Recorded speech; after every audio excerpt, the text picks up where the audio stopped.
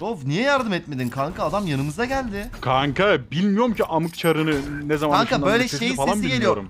Vup diye bir ses geliyor ama yüksek sesle geliyor. Nasıl geliyor bir daha söyle bakayım. kanka yaptırma bir daha.